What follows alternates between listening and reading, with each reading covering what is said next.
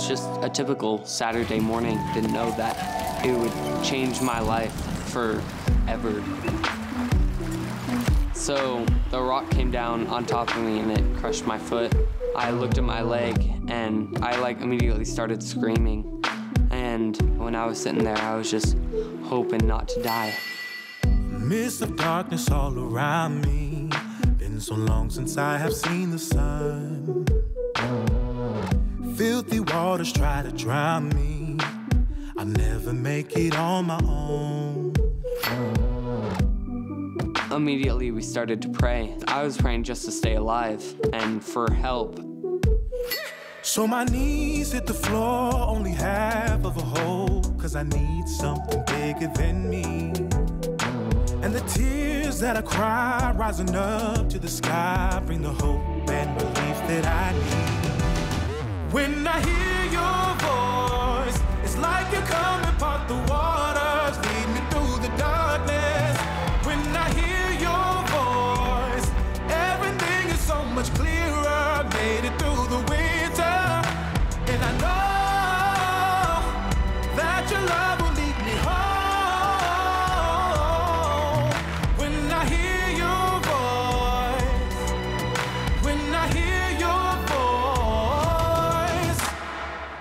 There were some hard nights, nights I wouldn't sleep at all. I'd just lay there groaning or crying.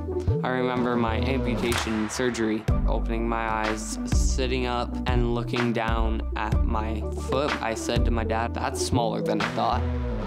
flowing down like revelation, bringing peace into my soul.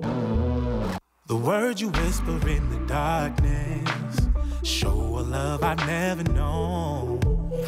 So my knees hit the floor, only half of a whole, cause I need something bigger than me. And the tears that I cry, rising up to the sky, bring the hope and relief that I need. When I hear your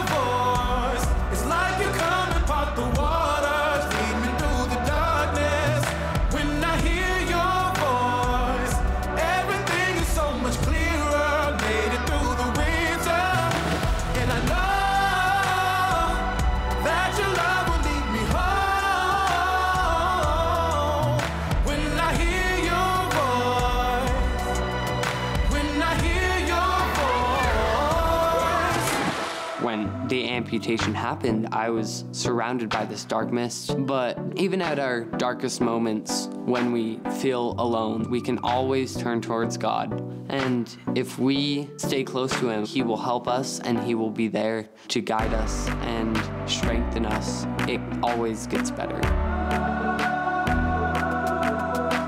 I hear you, you save me, I follow, you change me, you make me like I need to be. You tell me your secrets, you love me, I feel it, I know I will always believe.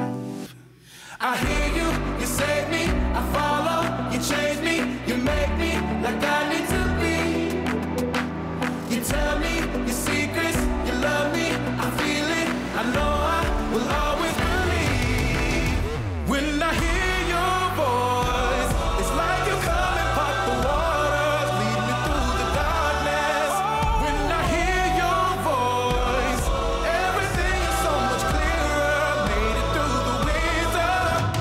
everything is